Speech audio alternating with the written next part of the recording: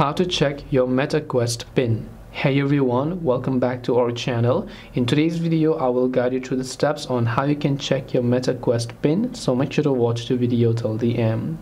Now, you can't really check your MetaQuest pin. If you forgot your MetaQuest pin, the only thing you can do is to actually reset it, but you can't view. It's just like you're asking how to view your ATM pin. You can't your bank will never tell you your atm pin unless it is you who knows it. You can just try to reset it only. So you can go ahead and then open the metaquest app here. Then once you're here you can just log into the account first. Then after you have done that first of all tap the menu icon from the bottom right of the screen here. Once you tap the menu icon from the bottom right just go to the settings option here.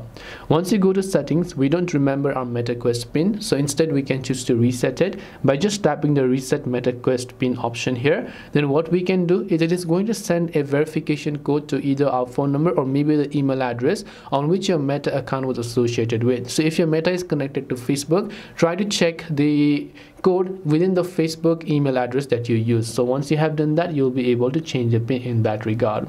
This way you will be able to check your MetaQuest pin. Hope this video was helpful. If you have got any questions feel free to leave them down below. Thank you for watching till the end and see you soon in the next video